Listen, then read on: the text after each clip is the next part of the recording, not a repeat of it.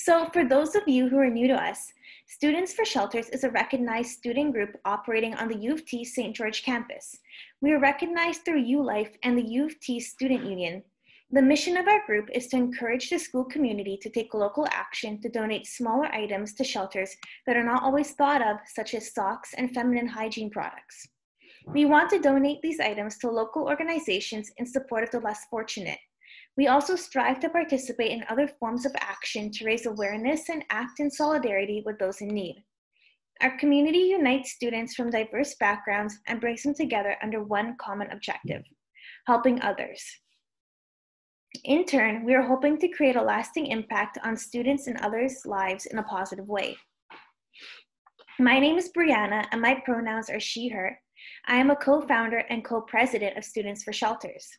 Illuminate is a series of panels occurring this semester. This is our second of three, and we hope to see you at the rest. As the theme of this panel is access is homelessness, we hope to have another coming up in November, which will focus on food and nutrition. I hope you all will be interested in returning. Okay. Hello, everybody. My name is Frances, and my pronouns are she, her. I'm the Vice President of Students for Shelters, and I'm really excited to be here with you today. I can't believe that it is our second panel already. Feels like the semester is flying by and we're heading very deep into winter. Um, I just wanted to say thank you to our executive team and our guests here today, Homes First and Covenant House. I'm really excited to see how the discussion goes this evening. Good evening, everybody. My name is Hannah, and my pronouns are she and her. And I'm also one of the co founders and co presidents of Students for Shelters. And I'm so glad that you're all here to join us this evening. And I'm so glad to see many familiar names on the side over here in our participants. Uh, tonight, I will be moderating the conversation between these two wonderful organizations. So before we begin, I'd like to introduce you to our speakers for this evening and give you a slight background on the organizations which they represent and I'll begin with Covenant House. Covenant House focuses on young people who have experiences with homelessness and sex trafficking. In the last fiscal year alone, Covenant House provided 350 youth with support each day. And here with us from Covenant House, we have Nicole. Nicole has always been passionate about working with and supporting organizations that aim to empower young people. Naturally, Covenant House was a perfect fit. She has been on the Covenant House uh, development team for almost two years now. Starting in major gifts fundraising, she soon found her way into events. Currently, she works with all third party events and helps to plan Covenant House's four annual signature events. Thank you so much, Nicole, for being here with us tonight. And now I'll introduce you to Homes First. Homes First has been working for over 35 years to provide supportive housing and currently operates housing programs and shelters all throughout the Toronto area. And from Homes First with us tonight, we have Ryan. And Ryan has been involved in the nonprofit se sector from a young age. He is a graduate of the Children's Media Program at Centennial College and specialized in community and youth engagement. Ryan has worked for Homes First for three years. He started at Homes First as the volunteer coordinator and has since been the relief supervisor, community engagement coordinator, and is currently in his role as the community engagement supervisor. Thank you so much, Ryan, for being here tonight. And a journalism graduate from Ryerson, Hanya has started with Homes First as a volunteer before joining the organization as the community development coordinator in 2017. Three years later, she is now the supervisor of communications and marketing and works closely with her colleagues to bring awareness to Homes First's mission and the people they serve. Her favorite part about the role is learning about the clients and their journeys. Thank you so much for being here with us this evening. Thank you all of you for being here this evening. And I'll get started with some introductory questions for both organizations. And first, I'd like to ask would you mind elaborating on your organization's mission and your role in the organization? Nicole, would you like to start? Yeah, for sure. Thank you, Ryan. Um, no so I'm Nicole. Uh, I am, as mentioned, the events one of the event coordinators at Covenant House. So I've been with Covenant House for almost two years now. I started in major gift fundraising. So a major gift at Covenant House is about ten thousand dollars plus, and now I'm working in events. So I'm supporting all our third party and school groups that are doing fundraisers for us. And as an organization, uh, as any charity, their their donors are super important, and especially for us, um, almost 80% of our annual operating budget is actually donor funded. Uh, so we really appreciate just like the hard work and the dedication of our donor base. Um, they're really, really great. And also, we get so many passionate students like you guys. And so it's really wonderful to see that. So thank you for having us. And I'm really excited for tonight.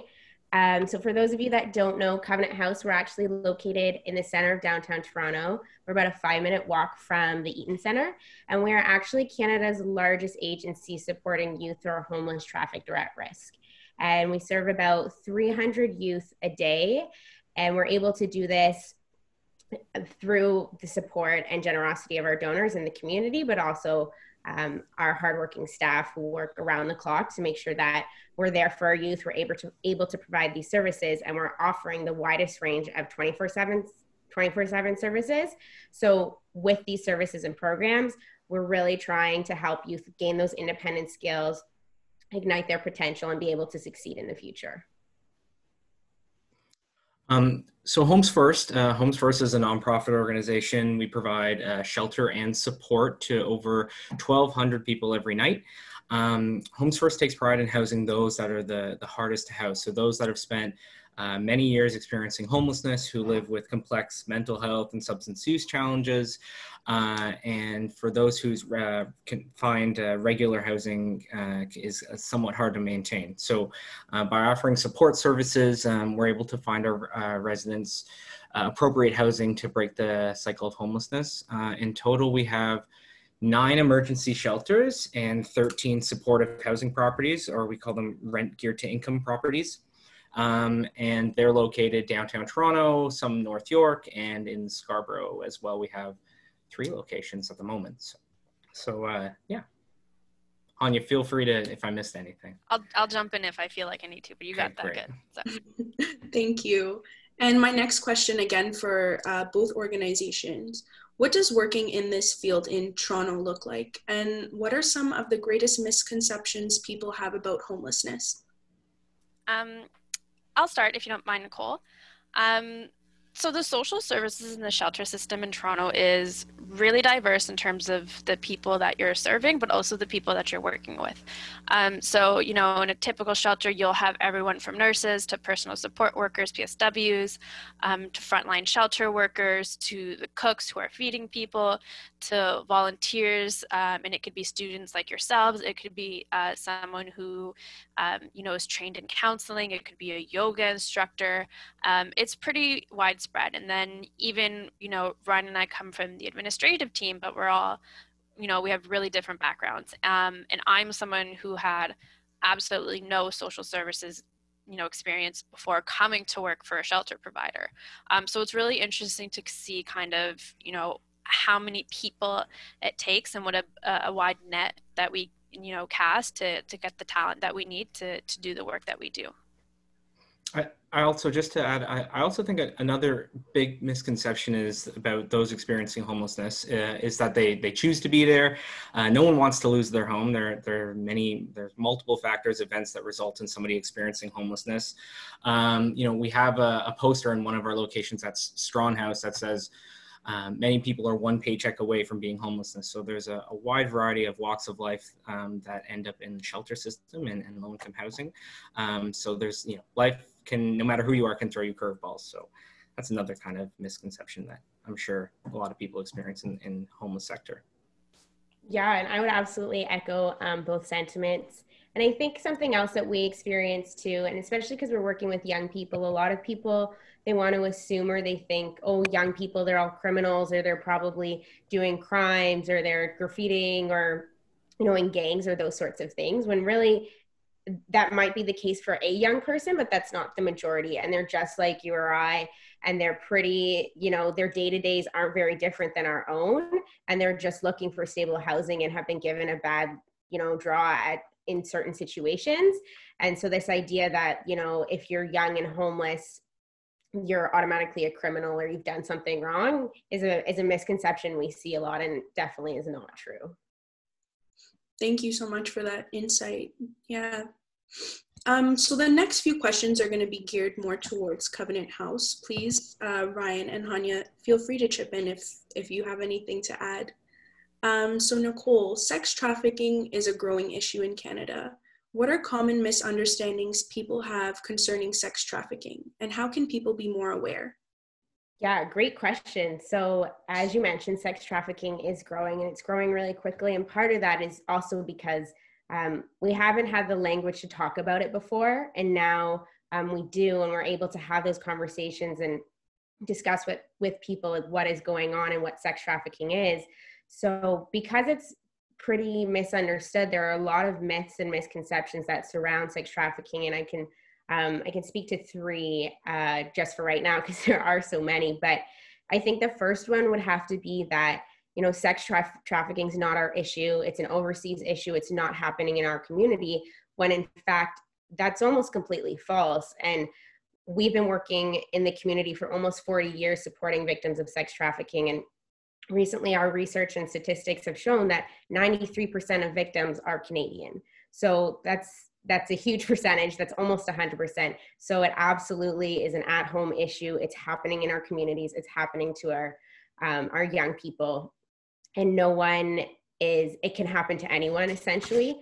Um, so that's a really big myth that we see. A second one would be that all traffickers are men. And while often that can be the case that's not entirely true. And it is possible to be trafficked by women, and trafficking is a very complex issue. And the way in which a victim is trafficked, uh, there's a lot of layers and there's a lot of things that go into it. It's not just, I mean, someone could be kidnapped, but that's not the average way someone is trafficked. And about 30% of victims are trafficked by somebody that they would refer to as their boyfriend. And 25% of victims are trafficked by a friend, and usually that friend is a victim themselves.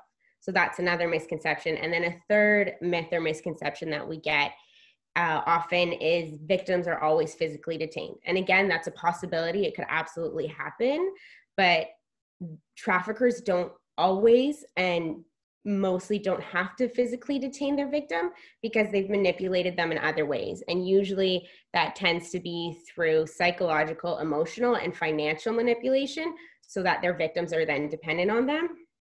And so they don't you don't have to physically detain someone that you've emotionally manipulated because you know they're going to keep coming back to you. So I guess those would be uh, some of the more common myths. And because again sex trafficking it's growing and there's a lot of cases and we're finally having these discussions more often. It's really important as you said for people to be aware. And recently we were we launched um, a resource on our website called traffic stop. So if you go to covenanthousetoronto.ca there's a button i believe it's in the top right corner. It says traffic stop and this is a resource sharing center. And we created it to educate people and it's it has really really good resources uh, I would totally recommend just clicking through it. We have things for parents and caregivers and educators to speak to their students or teachers or their young ones about sex trafficking in a age appropriate way. We have things for other social services. And the neat thing about Traffic Stop is it was built with working with about or over 200 victims of sex trafficking. So these resources are coming firsthand and it's uh, education and tools that we've built over time in order to best equip the community with understanding this really big issue. Thank you so much for that very in-depth and detailed answer. That sounds like a great, great resource to have and use. I'll go to the next question, which is Covenant House's website discusses the importance of using public policy to create long term changes in the lives of homeless youth and those at risk of sex trafficking. What are some of the most notable policy changes that have been recently made or you believe uh, should be changed?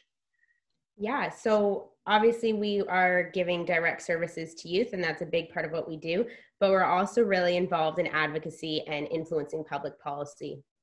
And one of the more recent wins we had was uh, actually in May of 2019, we worked with the Canadian Center to End Human Trafficking to institute a national hotline for victims of sex trafficking because prior to May of 2019, we were the only country in North America that did not have a hotline for victims of sex trafficking. So, with in partnership with the Canadian Center to End Human Trafficking, we delivered to the Prime Minister a national petition signed by more than 18,000 people. We were successful. May of 2019, that launched, and that's launched through the Canadian Center to End Human Trafficking. And uh, we've helped promote it and helped with media and it's been i think a really big win win for us and it was really great that we were able to get that started and then we have had other wins in influencing public policy and all of that those um, wins are listed on our website and if you're interested you can go to our advocacy page and we kind of lay out the other policies that we've worked towards excellent thank you so much um, homelessness and sex trafficking has no boundaries and definitely extends beyond the city of toronto what steps has uh, Covenant House Toronto taken to partner with other jurisdictions across the GTA to address this issue? And do you share best practices and research with other communities to help build capacity and vice versa?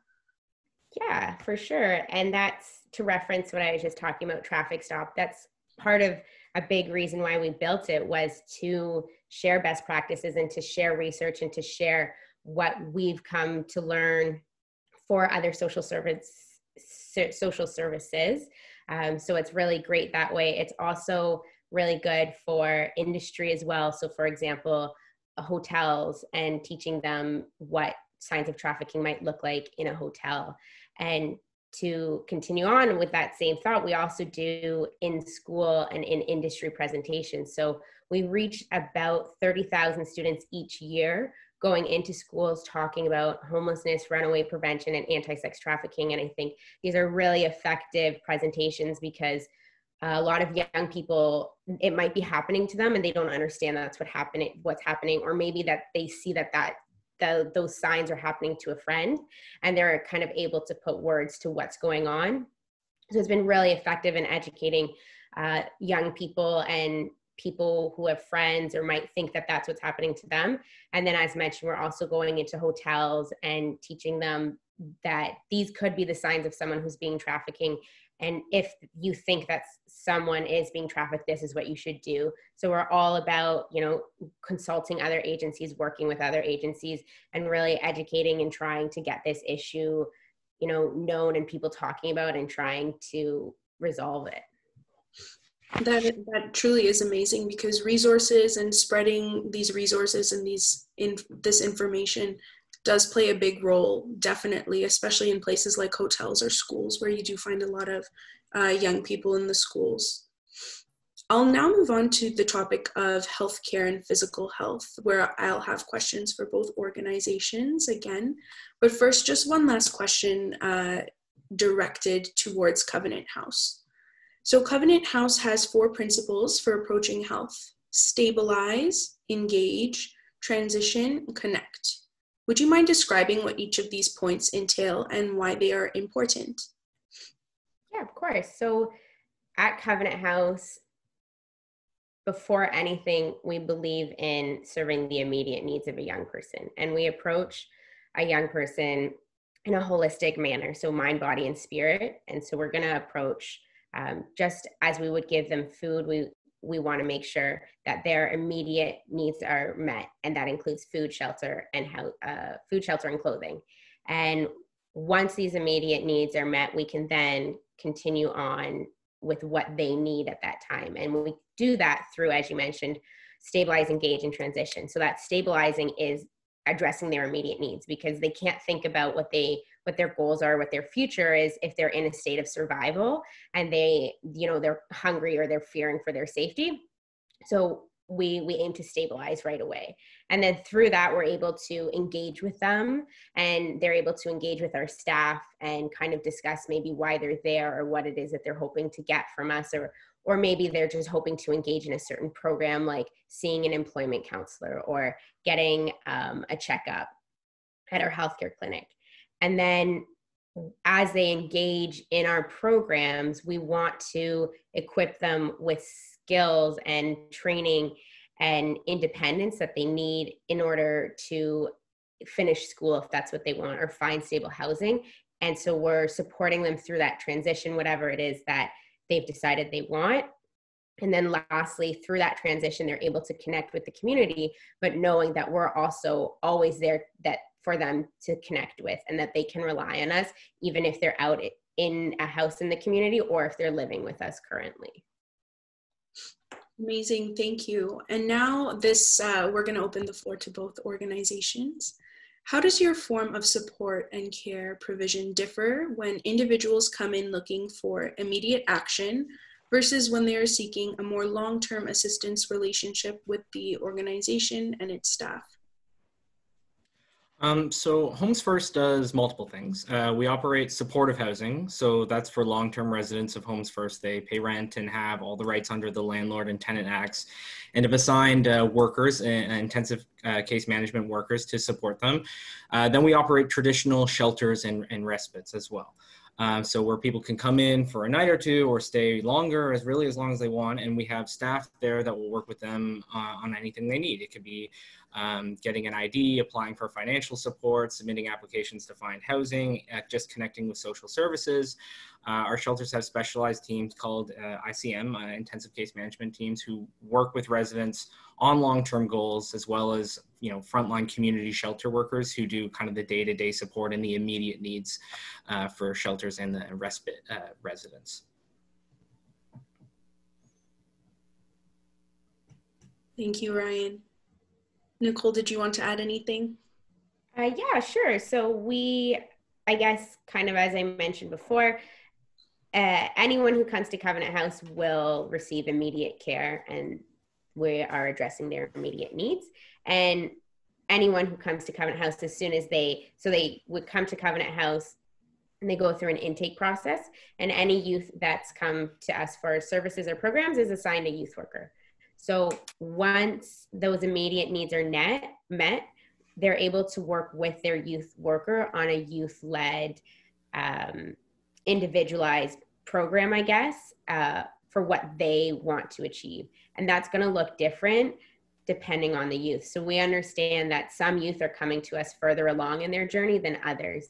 So for some youth, it could just be getting that stability of, you know, three meals a day because they've been on the street for a couple weeks for some youth it might be that they had to drop out of high school to help their parents you know pay for rent and they just need a couple extra credits at at school. And so they're going they want to take them at our on-site high school. So because every youth is on a different journey we have multiple solutions that could work and cater to their journey. And those solutions would be as i was mentioning it could be our crisis shelter it could be booking an appointment at our healthcare clinic or using the services in our drop-in center or just taking a course at our school. So that's kind of how we're addressing youth's immediate need, needs versus their long-term needs. And just to uh, build off that question, how does the provision of support differ now during the COVID pandemic era? Are there more precautions and hoops that must be jumped through in order to reach the same level of support that was being reached, let's say, a year ago? Um, I'll jump in if you guys don't mind. Uh, so yeah, COVID-19 has brought a lot of changes um, to the shelter system across Toronto, um, but we're still doing the same work that we're doing. So, you know, despite COVID, we're still actively working with all of our residents on their short-term goals, on their long-term goals, on providing the same sort of shelter services that we would be providing before COVID. Um, we've definitely had to do some rearranging in our shelters to enable physical distancing, and so because of that, we've actually opened two new hotel programs.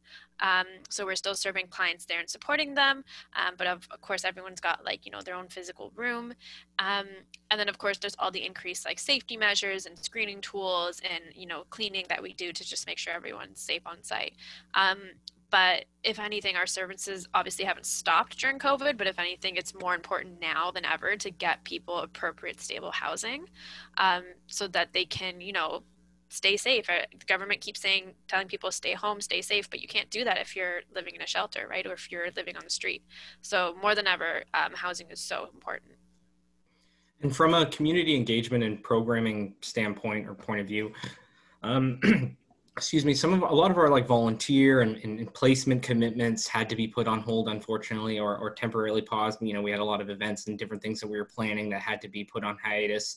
Things like the Pride Festival that we participate in, participate in every year, summer barbecues, things like that. Um, but yeah, like like Hanya was saying, a lot of the internal supports really are still business as usual, just a little bit more strict in terms of uh, health precautions and, and safety precautions. Yeah, I think Covenant House is echoed almost the exact same thing. We also had, with the help of the city of Toronto, we had our crisis shelter runs at a 96 bed occupancy, and we had to move 38 of our youth into hotels. And we're also working with and supporting youth from the YMCA, Turning Point Youth Services, and Eva's so uh, a lot of close partnerships there and just increasing the cleaning that's happening in the house. Um, still providing those services, but some of them have been tweaked a little bit. So um, while we still have that 96 bed shelter, some youth are going to be in the hotel, some will be on site. We still run our on site transitional housing. Um, we have four specialized housing in the community two for victims of sex trafficking, one for racialized minority, and one for um, members of the LGBTQ plus community. And so they're still um, living in their homes, but practicing social distancing and maybe they've reduced the number of, you know, social dinners and people have to, and, you know, that's because they live there, that's their bubble. So there's not so much concern there. Um, and then, you know, staff or staff and youth are screened before coming in. All staff wear masks and just following whatever uh, updates and guidelines we get from the city and implementing it so that we can provide those services but keep our youth and our staff safe. Great, thank you all. Um, the Ontario government has recently changed testing for COVID 19 such that you must book an appointment for the test. And as of October 7th, 2020, the health minister proposed mobile testing to reach those who are unable to book an appointment. Has moving toward appointment only testing impacted homeless individuals and those without access to the technology to book an appointment? I can start if you want. Um, so at Homes First, uh, we continue to do daily screening on site for all residents, all staff, um, every day, uh, and it's using the Toronto Public Health uh, screening tool that they provide. It also includes uh, taking somebody's temperature, um, and we have policies and pr procedures in place to safely book and transport um, anybody if they do show any symptoms. Um, so if an appointment ever needs to be booked for clients, we have ICM and frontline staff available 24 seven to, to assist or call or uh, book online if needed or anything like that.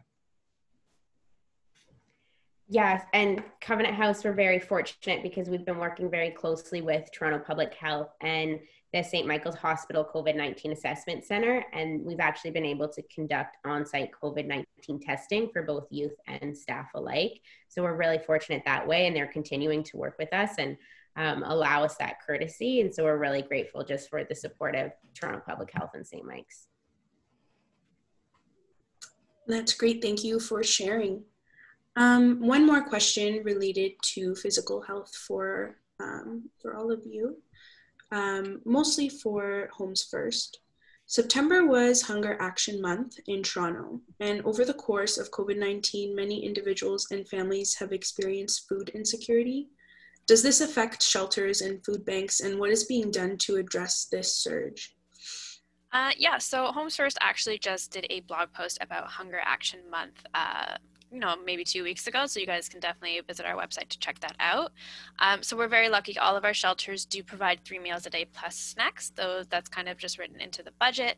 Um, however, our housing sites are a little different, and to support our clients there, we used to host community meals um, where people would get together and you know share a meal, maybe watch, uh, do some bingo, watch a movie, and unfortunately, uh, due to physical dis- distancing and um, or the lack thereof, we had to cancel our community meals because um, we just couldn't believe that we could keep, you know, everyone safely apart during that.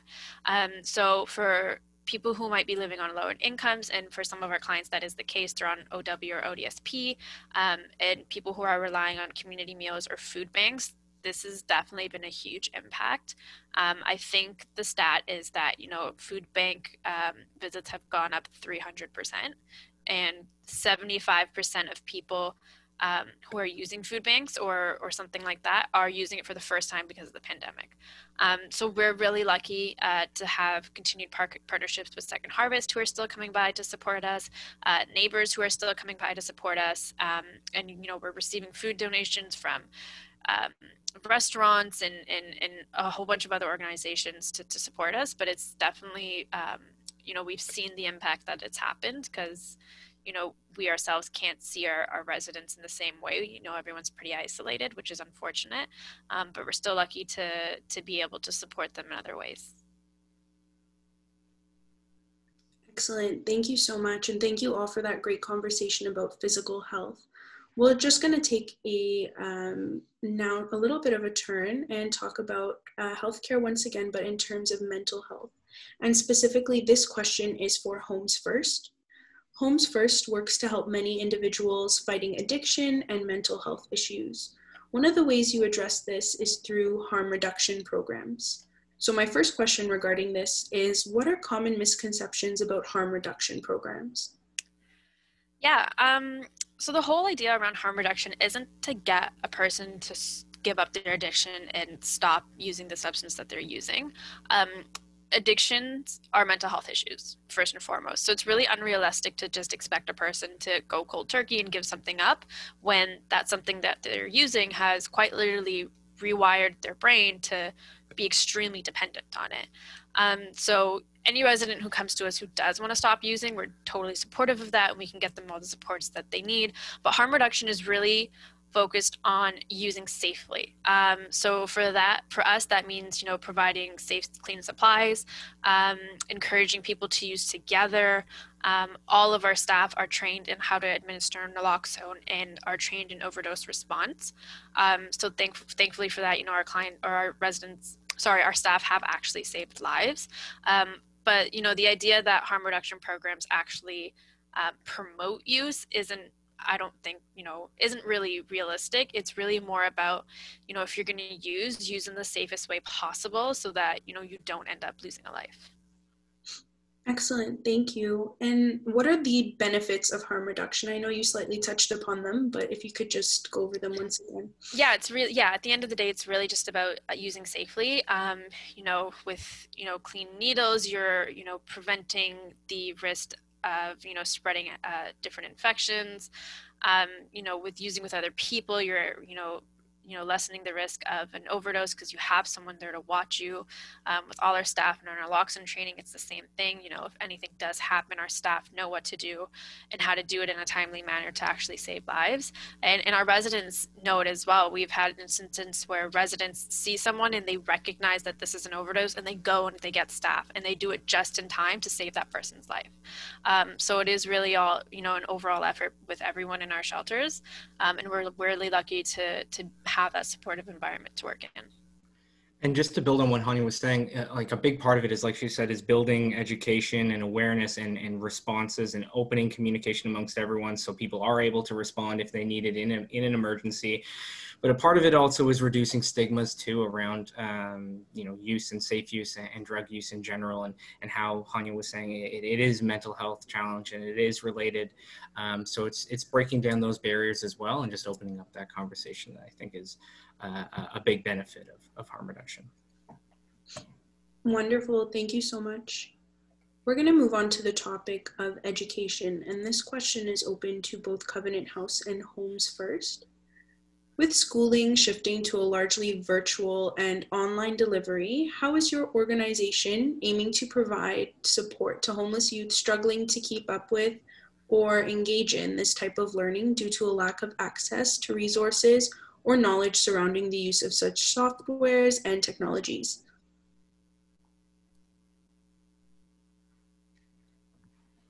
Okay, uh, I can take that to start. So at Covenant House, we have an on-site high school and it operates more as a transitional high school so it's not your standard you know show up at eight or nine and you're done at three and you're in class all day and you sit in a room with 30 other kids and you have different teachers um, it's it operates on an ongoing intake basis and it's individualized programming because uh, again we understand that these youth are are coming from all different um, backgrounds and journeys and maybe some of them are working half the day or maybe um, they have appointments or are in another program in the shelter. So um, we're kind of building out that like individual learning plan for them and so we have uh, an eight a capacity of eight students at a time. And generally speaking it's not really a school where the point isn't for them to stay in our high school. It's usually used if they need a credit or two to graduate then it's a good way to get that credit or two. Or maybe they had to drop out of high school and they're 17 and they're at a grade 9 level we can help get them those credits to then integrate back into their feeder school so that they're able to be at that um, at that learning level with their peers. So um, with covid it really put into perspective online schooling and the difficulties around technology. So maybe the lack of um, resources such as a laptop or an ipad or not being able to have wi-fi. So we really landed that on the on the solution that school has to happen in person for us. And so, in order to do that, we've basically been working with the Toronto Catholic District School Board, and we're following all the implementations that they're doing in their other schools. So, we've uh, we're always cleaning. Uh, Zulma, who is our education support worker, she makes sure that after the youth leave at the end of the day or at the end of their you know learning session, she wipes down um, their workspace, their keyboards, their mouses. Um, they have individualized learning kits. So if they need notebooks and pens and pencils, they all have their own kit that's labeled, and then that way um, it helps with organization. So um, there's less, you know, cross contamination. And then we also have put in plexiglasses. So in their workstation or their desk, that you have those plexiglasses dividing people. Um, what's neat is that we find uh, food is a really good way to bond with our young people and a lot of our young people have been in a situation where they haven't had food so we always have it available to them so uh, pre-covid and during covid we still offer uh, breakfast and lunch at, in our school it's just that all the items are individually wrapped. And then they have the option to well if they have uh, the resources to you know take work home with them. So if they have a laptop or an ipad they have that option. They can learn from home. And we're working with the toronto catholic district school board to acquire some uh, chromebooks so that should we go into full lockdown again they're still able to continue their learning virtually um, just to echo some of that, um, um, we Homes First doesn't really serve. We we do have some youth in in our uh, two of our housing locations, two or three of our housing locations, but uh, we don't have uh, schooling. But we do. We have been able to adapt some of our in person programming to a virtual setting. So, um, you know, our relationship coaching and job readiness. Uh, we've had some financial workshops. We have a yoga class we do that's virtual. Um, but yeah, it's definitely a barrier when it comes to access around Wi-Fi and just smart devices in general. Um, you know, uh, to, to adapt for these virtual uh, social services, connecting people with, with social workers or mental health supports virtually. Um, you know, we are looking into getting more laptops and setting up sort of some computer areas for people. And some of our shelters do have computer labs available, which we're fortunate to have but yeah, not everyone has a smart device, and you know some of the Wi-Fi connections aren't great, and so it, is a barrier. And so just trying to bridge that gap and create better access and get more access to technology for our residents is is an ongoing challenge that we kind of have to adapt to um, going forward. Yeah, and I'll just jump in and say that um, you know for seniors, COVID has been a lot because you know a lot of them socialize physically. They don't do you know zoom meetings as much or, or stuff like that. So all of a sudden they can't you know go to the community center and like you know this is stereotypical but like do their bingo or their aqua fitness class or whatever it is that they do. So you know we're now trying to find ways of like how can we you know bring technology to the seniors living with us and provide them options for you know virtual connection because now more than ever um, you know you you really feel like you need a support and you need a friend and for a lot of our you know senior residents they don't have phones or they just technology is not their thing. But also when you're living with a mental health issue which a lot of our residents are which all of our residents are um, being isolated becomes so much harder. Um, so i think we're we're realizing how important technology is but also um, how much of a barrier it can be to a lot of people. Yeah, definitely. Technology has and always been a big barrier and has become even greater of a barrier now, especially during these times right now. Um, we'll now move on to the topic of housing, and this question is again open to both organizations. So both Homes First and Covenant House provide shelters for the homeless in Toronto and the GTA. Is this a pit stop of a long journey, or is this a final destination? How do both organizations ensure that the people with the privilege to have these resources are not abusing the shelter system? Um, I'll go first if you don't mind, Nicole. Um, so at Homes First, the goal is always affordable, appropriate housing for everybody we serve. Um, you know, uh, the name's Homes First really means that with housing first, people can work on any other issues that they might be facing. Um, that being said, you know, you can't force anyone into housing housing is really difficult to find in Toronto, and that becomes even more difficult um, when you're dealing with a mental health or addiction issue. Um, and you can't really stop someone from using the shelter system either, right? If they don't want to go into housing. So everyone has their own needs for being in the shelter system, whether they're there for two weeks, whether they're there for three months, whether they're they're there for nine years, and they're you know there are people who have been in the shelter for shelter system for years and years and years, um, and they're used to it, and that what they that's how they feel at home. Um, so the best that we can do for all of our residents is just to try to understand their journey um, and identify what their needs are, and then work with them to get them the supports that they want and that they need, so that they can make the choice on how to stabilize and move forward in their lives. Yeah, I think I would I would echo a lot of that as well, and that you know affordable housing is a really it's really tough in Toronto, and housing with these clients is really complex, and there's a lot of layers. And and as I've mentioned before, we know that our youth are coming to us um, all with different journeys. So whether they're staying in our crisis shelter or they're in one of our community apartments or transitional houses, we know that a youth's time with us could be from one night to years while they work through our programs. And so our goal is really just to equip them with those skills and the confidence and the stability that they need in order to thrive on their own and so we understand that a shelter is not an ideal place to live. And if given the opportunity, I think a lot of people would not want to live in a shelter. And and really the lack of affordable housing is keeping our young people in this shelter system longer than they probably would have hoped. And again, that's something that shelter systems can't control. We we rally and can lobby for affordable housing, but we can't actually implement that. So really what we're trying to do as a organization is just to expand our housing op- options that we can offer our young people. And and it's really great because right now we're over to pro- we're able to provide over 700 youth through our various housing programs. And our goal is just to continue to help those young people transition to independence but also keep their housing and give them the tools so that you know in 3 months or a year they don't lose that housing um, for anyone who wants to know more, in 2018, the City of Toronto did a street needs assessment, and it's you know a pretty long document, but it really breaks down kind of.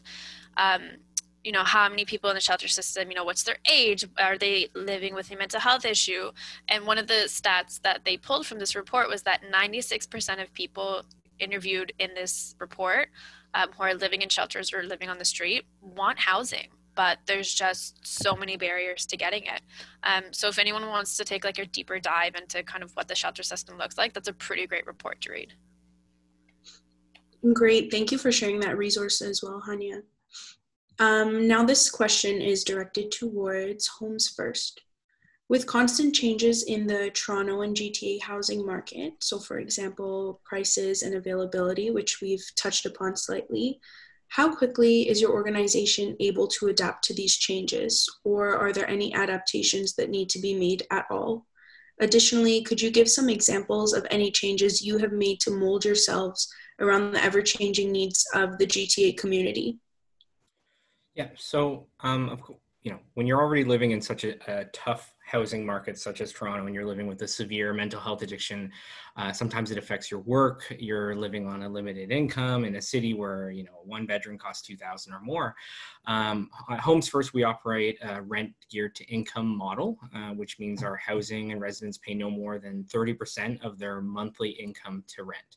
So, um, you know, it's it's deeply affordable housing. So there's there's also subsidies available that support them, but at the end of the day, what we really need is is deeply affordable but also supportive housing. So um, being able to you know afford a house is definitely the first step in, in securing um, uh, your independence, but then also just supporting people with day to day and helping them secure that housing and, and readjust to to that kind of life, or just connecting them with any kind of external supports that they need is really the other piece to to um, deeply affordable but supportive housing, and that's really you know the more we have that in the city, I think that'll really help um, you know decrease the homeless population. Wonderful, thank you. Um, Hanya, did you want to add anything before I move on? Sorry, I was muted. Um, no, just again that, you know, in a city like Toronto where um, things are very expensive, you know, even for people like us who are, you know, young professionals, um, people like yourselves who are students who are probably working part-time jobs as well. Um, you know, if we find it difficult, then someone living with a mental health or addiction issue who has spent five, six years in a shelter um, it's almost impossible right? So it's really about creating this network of supports where you've got deeply affordable housing, where you have community support services, where maybe you have someone checking in on you once a week um, that really need to come together to make sure that people get housing, but also that people stay in housing long term and they, they just don't go through this you know endless cycle of housing, shelter, housing, shelter. Definitely. This conversation about support is definitely very, very impactful um, we're going to move to the topic about donations. And again, this question that I have here is for Homes First. Homes First's fundraising events, so for example, Homes for Dinner and other third party events, have been instrumental in bringing awareness to the issue of homelessness and raising needed funds from donors. In a post COVID 19 environment, what steps is Homes First taking to maintain this level of commitment from its donors? And how have you modified your events to continue engaging the public and to raise money? Yeah, so Homes First was going through a very interesting transition period with our fundraising team. And just as we were kind of settling into our new way of working, COVID hit. Um, and with you know operating as many shelters as we do the safety of our clients and our staff came foremost so um, you know other things kind of took to the back burner. Um, we're really lucky right now to have a really great team and a really great network of donors and friends who have been continuing to support us. Um, so, for example, Ryan and his team have been working endlessly since the start of the pandemic to get PPE donations, and we've been super fortunate to receive um, you know some of that to, to keep our clients and our staff safe we are getting monetary donations through our website um, like I mentioned before, we get food donations drop off to the shelters and, and other sites. Um, so, you know, we're really grateful for that. In the post COVID 19 world, I mean, it's hard to imagine what our events will look like because we just don't know how long COVID 19 is going to last, right? Um, we're in the middle of a second wave right now. There could be a third, there could be a fourth. We just don't know what the next six to eight months look like. And fundraising planning sometimes takes that long. Um, so, in the meantime, you know, we're just doing our best to stay connected to our followers, to, to speak out and reach out to other groups of people, um, such as students like yourself, to let them know what we're doing there. Um, you know, follow us on social media um, if you want to stay updated on what we're doing. And one thing that you can do right now if you really want to support us um, is either go online to make a monetary donation um, and something new that we're trying is um, uh, accepting digital Walmart gift cards. So Walmart gift cards are really great for us because it allows, you know, if we give a $20 gift card to a resident, it allows them to go to one place um, and get whatever they need. Um, so, you know, helps them stay safe because they don't have to go to multiple stores, uh, but also just provides them a little boost of monetary support.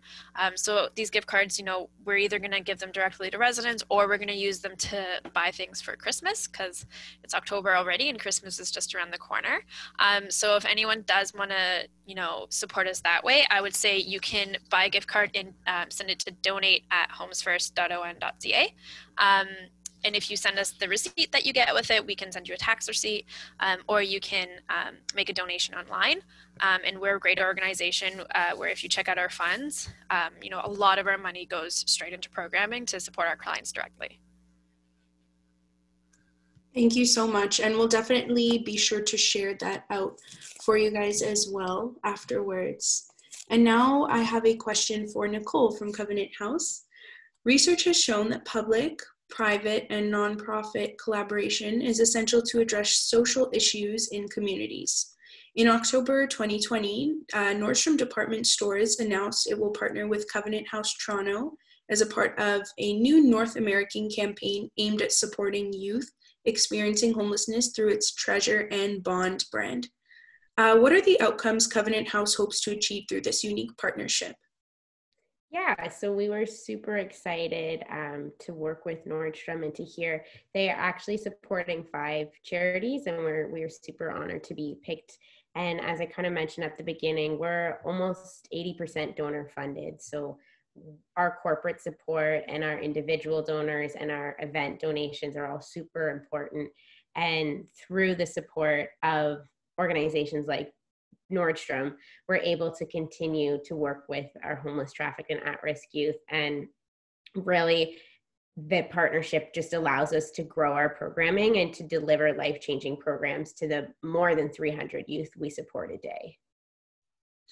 Great, thank you so much. That is a great partnership. And one more question for Homes First before we head on to our audience Q&A. So what are some of the largest issues that need to be addressed in order to break the cycle of homelessness? So for Homes First, for example, you guys have a program called Follow Up Supports. Uh, would you mind explaining the intention of this program and how it benefits both homeless individuals and the City of Toronto? Um, Ryan, if you want to do issues and then I'll do follow up supports. No problem. Um, yeah, so I mean, this is a very, very complex uh, question. Of course, I mean, homelessness really is rooted in a lot of isms that I, I won't get into right now, but um, you know, there's there's a, a, a, whole range of reasons why um, you know somebody could be dealing with lack of housing. But when you get to the core of it, it's really the need for more deeply affordable housing that I think would be the, the best solution.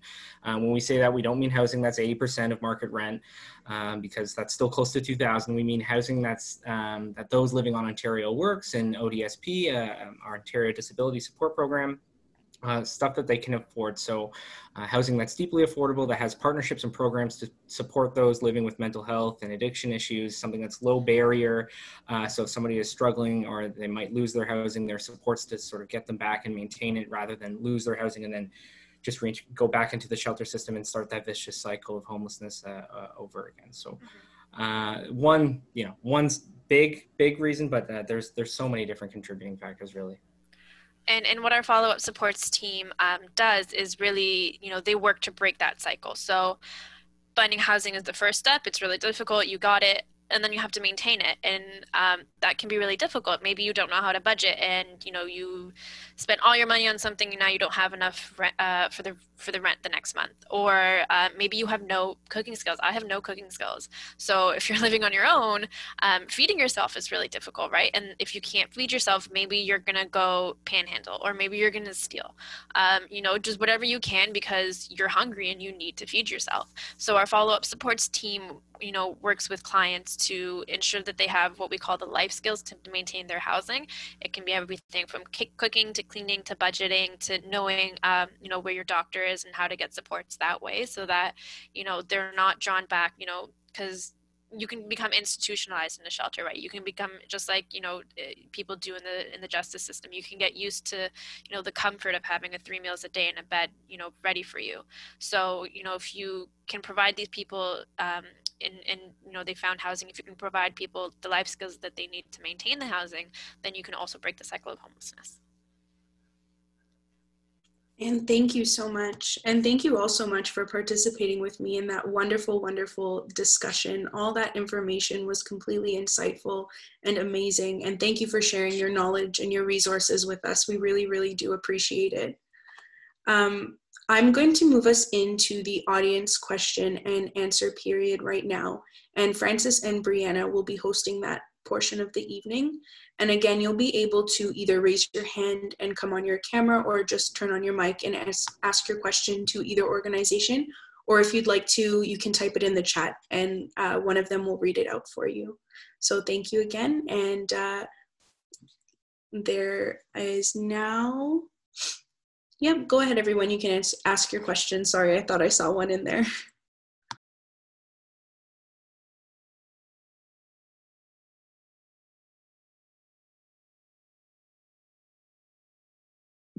So we have a question from Sarah.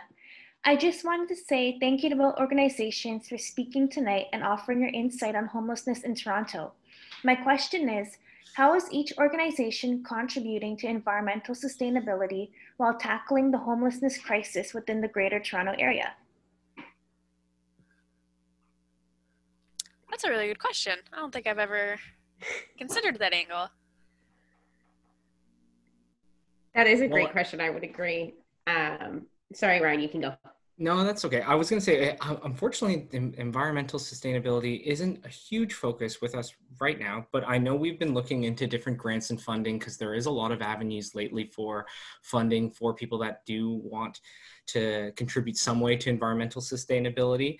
Um, so, you know, we've looked at things like green roofs and uh, building on garden spaces. We do have a garden program that's pretty uh, well attended at, at one of our, loca- our housing locations in the downtown area. Um, you know, so doing, you know, a lot of outdoor activities around landscaping and gardening and things like that um, with with volunteer groups is something that we do a lot of.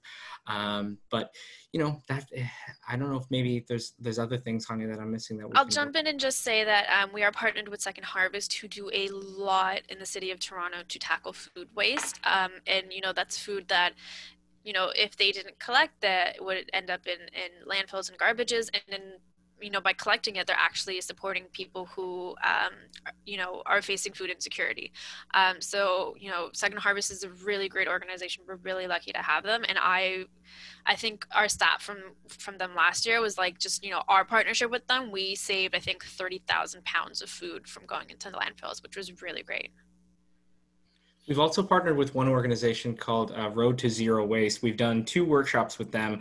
They just talk about food sustainability, but also demything, uh, like myths about um, expiration dates and how to preserve food. And it's a kind of an interactive workshop uh, where there's smoothies at the end. And they also have community fridges where they collect um, food from different um, from different restaurants and grocery stores and make sure that we're reducing waste. Uh, and they can be accessible to anyone in the public. And they're just set up. And Homes First was right in the process of setting up our own community fridge. Um, and just, uh, you know, when, when COVID 19 happened, well, it kind of affected some of our volunteer commitments. So we, we, we, we haven't been able to set up the delivery yet, but we still are partnered with them and we still do workshops with them as well. So just a little shout out to Road to Zero Waste. That's super cool. I've never even heard of that program. That sounds interesting.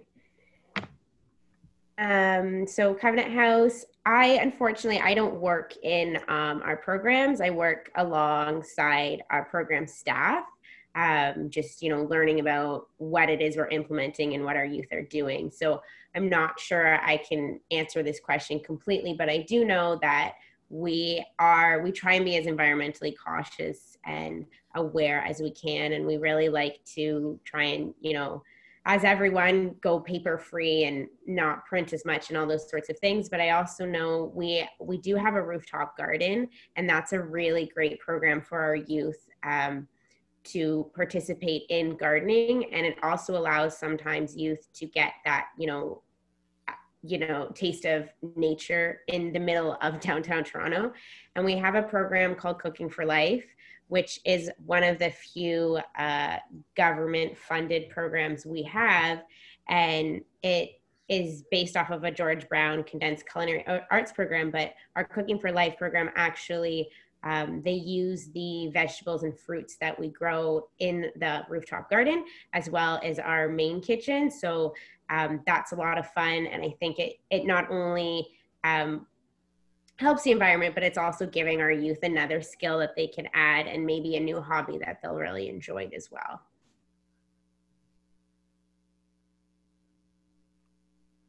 Great. Thank you so much. Um, we do have a few more questions in the chat. And so the next question is from micah and it is what other policy changes are you pushing for governmentally? The current system can be argued to actually keep people stuck in the system due to a number of factors like insufficient social assistance, and then in brackets OW, ODSP, or social stigmas surrounding poverty and homelessness. Are your organizations in support of the concept of universal basic income? And if so, how should it support marginalized groups differently than the rest of the population? Yeah, that's a pretty complex question.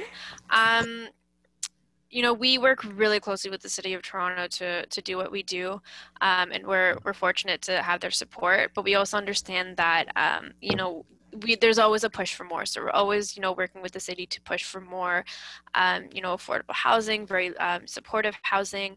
Um, you know we have a building called Strachan House which is extremely unique in the city and supports really the hardest to house. Um, and we've been told that we need you know 10 other Strachan houses across the city because um, because the need is that high. Um, so you know that's a it's a question i don't think we really have the answer to but if i was to speak um, you know just kind of on what i've seen uh, about our organization um, you know we're really just pushing um, for more supportive housing for for everybody um, whether you are, have really high need supports or maybe if you're on the lower end in terms of how many supports you need because we've seen what it can do. Um, you know, we have clients who live out Strachan who came into this, uh, came in to start living there, you know, after years on the streets. Um, and, you know, you know, they were doctors, you know, they finally got a doctor's appointment after five years. And the doctor was like, you know, they probably have three years to live based on their health.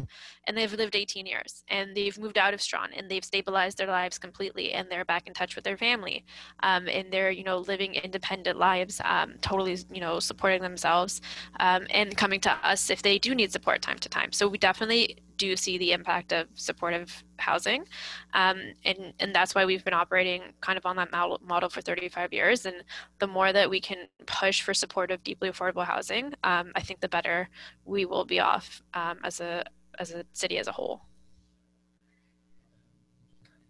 Yeah, and I think that um, absolutely, we totally agree. And affordable housing is is what we need and what a lot of organizations are pushing for. But also, um, when you're housing uh, homeless people and for us our homeless young people if we house them and we're not giving them the skills to keep their housing then they will be back in the system. So i think that's another thing that we really try and work with our young people is we want to make sure when we house you you're going to be able to keep that housing so you're not stuck in the system. So giving you um, those skills like budgeting or cooking or those uh, financial literacy and how to keep your job and those sorts of things are going to help in the long run of keeping that housing.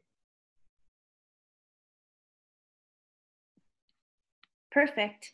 Our next question is from Jenna. She asks, Canada has been facing a major spike in opioid overdoses since the onset of the pandemic, with the highest number of deaths ever recorded this year. Social distancing has definitely impacted harm reduction strategies such as safe consumption sites and support services. How do you think we can address, address this issue in general or with respect to your organizations? Ryan, do you want to go um, ahead? Sure. Uh, that is a that is a great question. Um, so I, I we we get harm reduction updates and we work with different harm reduction agencies in the city of Toronto. And it's just opening up that dialogue and continuing communication and education around what we can do to be safe but also respond. Um, you know uh, shelter community shelter workers and social service workers have a responsibility to respond to those emergency situations if needed. Um, but yes it definitely impacts you know there's different methods and different ways of, of protecting yourself that are being developed. Um, but it, it's a tough question.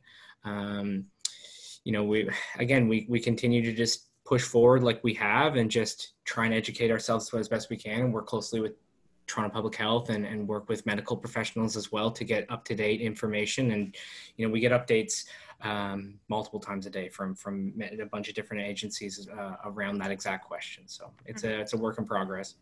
And I know in our shelter systems, because um, again, so it's basically one person per room in the in the hotel program. So you know we've um, staff there are constantly checking on clients um, to see that if they're okay. And if we know a client is a user, um, you know, we really try to make sure that there's um, dialogue within the staff um, to make sure that, you know, has someone seen him today? Is he doing okay? Let's go check on him.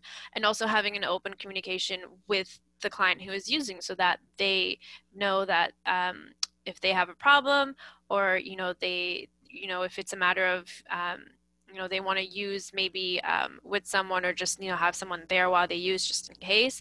Um, it's really about building a relationship with the client so that they know that they are supported and that they feel safe um, and that obviously that their health is uh, the most important thing. Yeah and i think covenant house would echo that as well and we've been working really hard. While we are a dry facility so um, they're not allowed to bring drugs and alcohol onto the premises our youth do know that we are a safe space and that if they they will not be turned away if they're coming to us high because we want them to know that uh, as mentioned that this is a mental illness and you're you're dealing with something really hard. And we rather you come down from that high in a safe space than feel like you can't come home at all. So it's again as Hanya said maintaining that open dialogue and making sure that they know they have support at the shelter yeah, that's all. I mean, it seems like you guys all do a really great job of destigmatizing the issue and just making the matter at hand, like getting matter at hand, getting the person into a safe space and making sure that they aren't turned away. Um, so that's really awesome. We have another question in the chat. This one is from Elizabeth. And she said, Hi, everyone. Thank you to all, um, both the organizations and Students for Shelters for this evening. I know this was touched upon briefly, but what are some misconceptions about the demographic of folks using your support? Also, how can we combat stereotypes about these misconceptions? Um, yeah, so for Homes First, we kind of focus on older um, adults who um, are, you know, living with a mental health or addiction issue. Um, and I think the, a lot of the times people kind of think that, oh, if you're using a substance, you've chosen this path um, or you know if you have a mental health condition um, like maybe you know they shouldn't maybe they shouldn't be here. Maybe they're a danger to the public. Maybe they should be institutionalized. Um, we have such a diverse group of people living with us. I um, you know we've had a college professor living with us. We have a engineer living with us. Um, uh, i knew i knew a resident who was a nurse. I knew a resident who was an artist. Um, writers um, scientists anything and everything in between that you can think of um, they've probably come through our doors. So it, it's really this understanding that a mental health addiction uh, or a mental health or addiction issue can you know affect anybody no matter kind of where you come from yes, most of our clients, um, you know, have a history of trauma, and that trauma starts in their childhood and their youth. Um, but that being said, um, you know, life can change in a second. COVID has sh- certainly shown us that. Um, so there are, you know, you, we really can't say that there's one type of homeless individual um, because we could easily be that person in three weeks or three months. I think another misconception too is, um, you know, that homeless people that live in the shelter system don't that they don't work and they don't have jobs. Uh, so um, at every one of our shelters, we have residents who live there who have jobs um, and, and, work on, you know, Monday to Friday or work weekend or work part-time or whatever. Um, and there's also this misconception I hear a lot where if you have a mental health challenge, you know, you're not capable of, um, uh, holding yourself accountable or taking care of yourself or being able to properly integrate into society. And it's just you know completely false. Obviously there are different ranges of, of challenges that people can have but you know with supports you know you, you should be able to have the same you know uh, the same access to services and to occupations that anybody else can have. So um, you know the misconception that because uh, their mental health challenge, they can't be reintegrated into society is, is one I hear, unfortunately. Um, but so that's another one on top of that. And sorry if I'll just chime back in. There's also this idea that people who are experiencing homelessness don't contribute to society, and like that's completely false. We have residents who volunteer. We have residents who, um, you know, really care for the community that they live in. And at one of our sites, um, we have a group of residents who routinely, and I mean like twice or three times a week, go and pick up needles from the park. Um, and it's not, tech, you know, they're not all needles that those clients have specifically been using, but it could be like, you know, the other respite down the street, their residents were using in the park and left a bunch of needles. But our residents understand that, um, you know, this might be a temporary home for them, but it's still a home, and they want to take care of that, and they want to take care of their, their neighbors and the communities around them. Um, so they actively engage um, and try to make positive impact wherever they can. And we do that at all of our sites. We try to make positive impacts at every site that we go to or you know every neighborhood that we're in because we understand that people have these misconceptions and they don't want shelters in their backyards. But you know, um, people using shelters aren't bad people, and, and they want to be part of communities and neighborhoods just as much as the the rest of us do. I think um, speaking from the Covenant House youth perspective, we are working with 16 to 24 year olds, and the demographic we're serving are homeless, trafficked, and at risk. So, a homeless individual could be very, their living situation and their appearance could be very different than a youth who's at risk or trafficked. And so, I think for us, a lot of the time, we we have we have and we offer because again we offer such a wide range of services people forget that not all of our youth are going to be homeless. Some of them are just couch surfing and they're just a step away from being homeless. Others maybe are in that at risk position. And covenant house is what i find interesting is that our services are available to anyone between the ages of 16 to 24 and so because we are a shelter and we're working with the the vulnerable demographic somebody who's you know well off and maybe not as um, traumatized in their life probably wouldn't seek covenant house out for their services but maybe someone who you know only it comes from a one parent household and they have three younger siblings and they have to help they have three jobs because they have to help pay for rent so they're not able to go to school they might use our services. So sometimes there's a little bit of a mis- misconception that everyone at covenant house is homeless and that might not be the case for us. And then kind of adding to that our youth don't often look homeless. And i think that confuses a lot of people because you know you're homeless so you must smell bad and you must be dirty and you might not must not have nice clothes. But i think that a lot of shelters are really fortunate because they get a lot of really wonderful donors.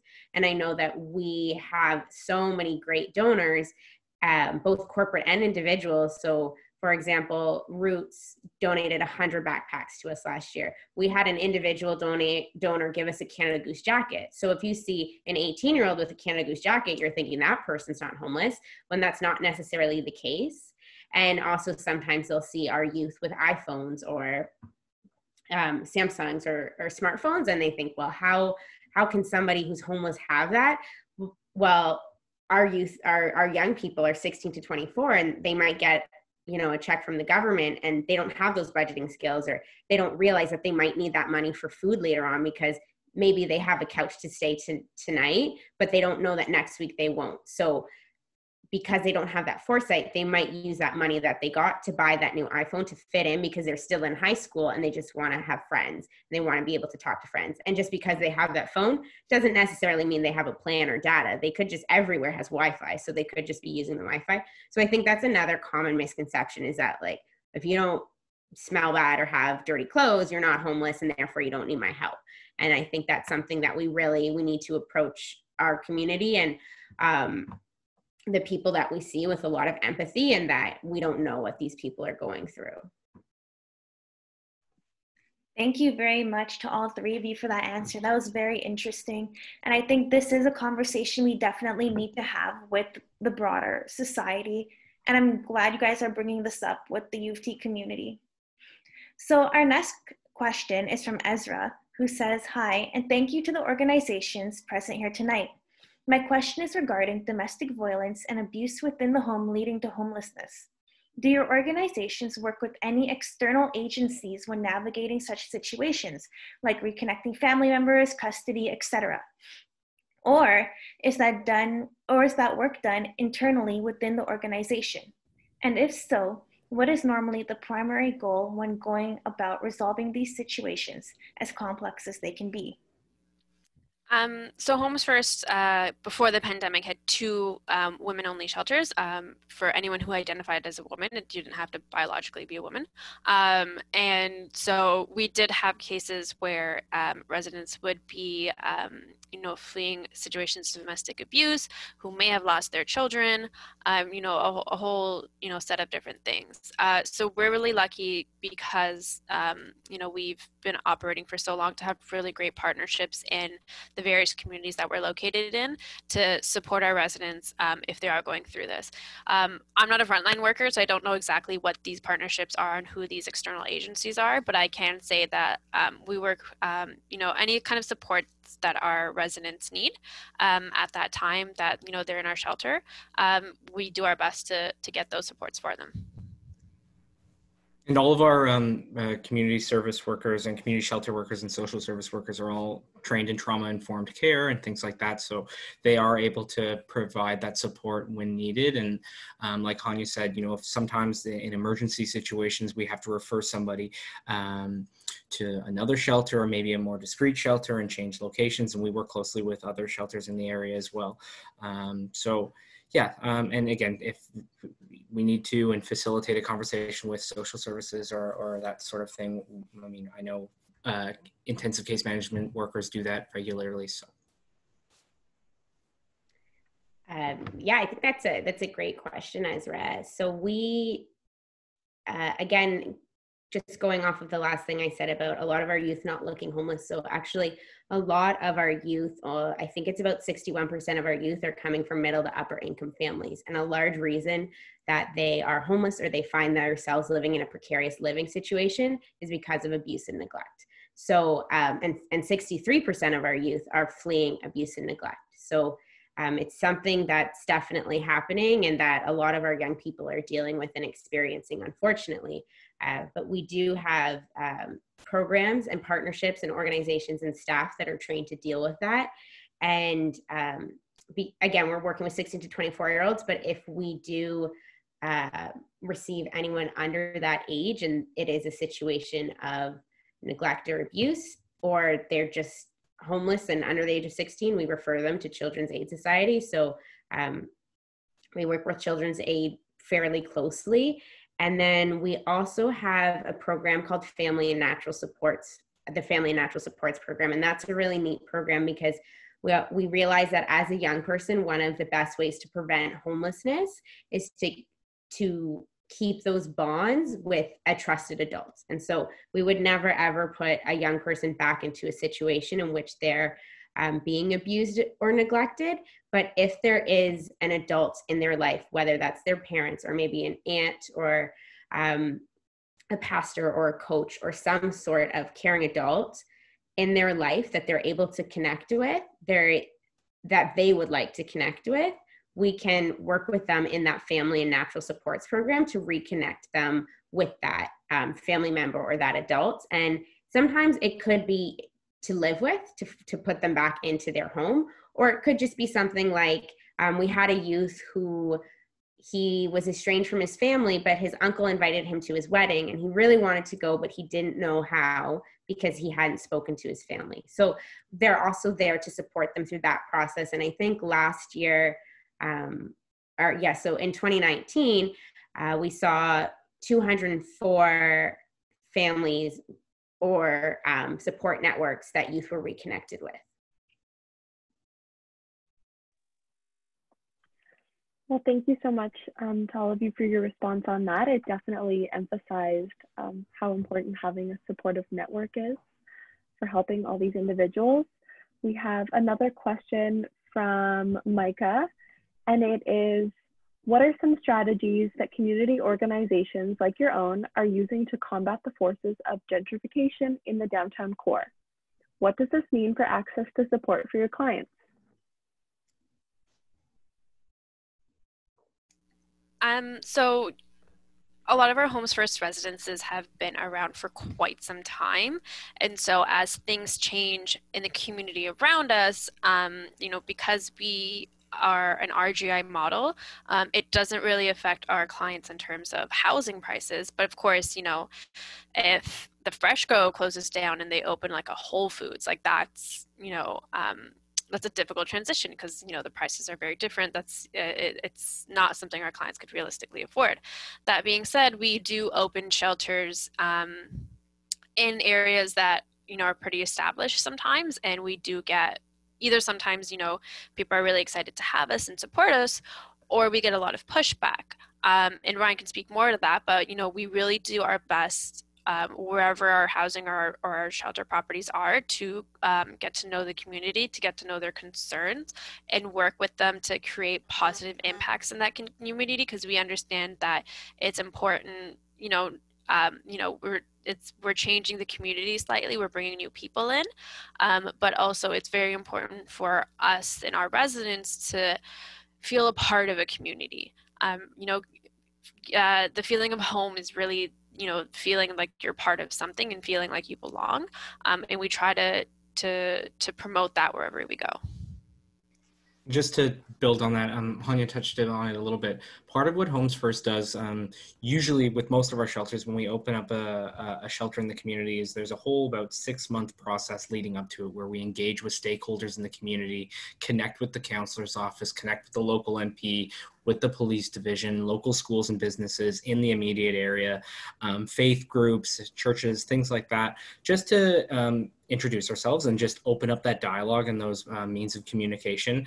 And then we sort of establish what we call community liaison committees, where you know we meet on a monthly, sometimes more than that, um, basis to discuss community issues. A lot of it is around the shelter and residents and challenges that are um, you know faced with that, but a lot of it, it can also be about building partnerships and building that sense of community and, and building the community in the direction that everybody wants, and just um, you know continuing that conversation about what the community means to them, what it looks like to them, what changes, and just getting the right people there to, to get that dialogue and to get people's voices heard. Uh, at the end of the day, people really want an avenue to express their opinions and to uh, create change. And part of these meetings and part of what we do when we engage with the community is to do just that. So, you know, we try. Yeah, I think very similarly at Covenant House as well. Like, I'm not a program staff and I'm not working in housing, so I can't speak uh, too well to it. But I do know that in order to help with things like this, we do have um, youth in transition workers. And kind of like Ryan said, we're always building partnerships and relationships within the community. And we work with um, landlords to help house our youth and to help them feel confident in their tenants.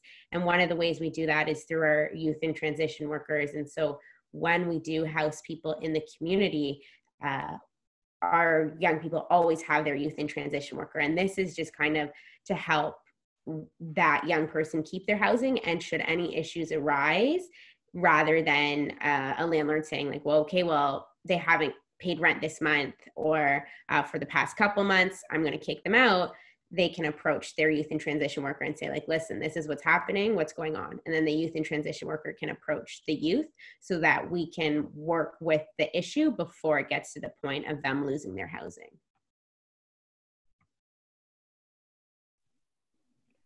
Um, that's really interesting and there is another question in the chat that touches on housing and then i actually have a question as well um, that I think I'm going to ask before that one because it does expand on this. It's just you have all thrown around some numbers with regards to, um, for example, income. I think it was Ryan, and he said that for income, you try to spend no more than 30% of income on housing. And so to me, I'm just kind of wondering how, like, exactly the housing system works. Do you have some houses that are um, funded, or I guess like paid for by your organization and then houses that you as nicole you just mentioned that you partner with landlords in order to get a good deal um, and then build up trust which builds confidence in people who are using this housing. Is, is that kind of the transition into how it works or uh, so Ryan and I aren't on the finance teams, and like it's a really complicated calculation on how it works. Um, so in total, Homes First owns 13 housing properties. So we either own the buildings or we manage the buildings um, with on behalf of the city, essentially. And so um, uh, everyone's income is different. So everyone's rent is actually calculated based on their income. So um, you know residents it's not like uh, all the residents in one building are paying like you know $100 a month and everyone else in this building on the west end is paying 150 um, it really depends on the resident and if the resident's working or if they have changed like if they go from odsp they turn 65 and then they get a pension like you know that might fluctuate what their rent is. So there are a lot of like math and calculations um, that kind of you know play into it. But also we really um, you know we follow really closely like the RGI guidelines that are set out, I believe, by the city um, to make sure that we are kind of um, doing it the, the, way that we're supposed to. Um, in terms of people moving into housing that is not our own, um, I know that um, you can apply for subsidies and, and grants and, and other things um, if you're moving out of the shelter system into just you know market rent housing to to help you uh, you know, get housing. So maybe they'll provide you first and last, um, or maybe um, you know the the landlord's uh, uh, willing to accept a subsidy from the government. Um, it, it's we have specialized housing um, workers on site that kind of do this. A lot of the times that we find that you know sometimes the money isn't the issue but landlords don't want to rent to someone with a mental health issue right? So there are a bunch of different factors that go into it uh, but it is very mathy and that's just unfortunately not our strong suit and yeah, just to expand on the shelter side, you know, there are some buildings that we own and operate, but then there's also buildings, yeah, that the city um, is either leasing from an owner. So an example would be our, our Delta and our Strathcona hotels. The city is leasing that property temporarily in response to COVID-19, and we're just the, the shelter operators that, um, you know, are funded by the city to, to provide those supports. So there's different ways, you know, we don't, we don't own all of our buildings, uh, but some of our shelters we do. And then, um, yeah, like Hanya said, in terms of like housing, it all depends on people's income. Yeah, we would echo similar things. And we at Covenant House also, so our hotel program is also funded by the City of Toronto right now. Um, we have, and it, it also depends on the similar to Homes First on the individual, on their income, those sorts of things. We also do have some donors, though, that will donate towards our apartment programs or community housing um, just to help subsidize some of their rent. And I think that, and again, I, I don't know because I'm not working firsthand with our young people, but I think that's something that's also set out with their youth worker about when they're ready to transition to independence, what their rent's going to look like, what's affordable, what they're being paid um, at work. So there's a lot of factors that go into, you know, subsidized housing and rent and um, independent living. And just a follow up question to what Francis asked.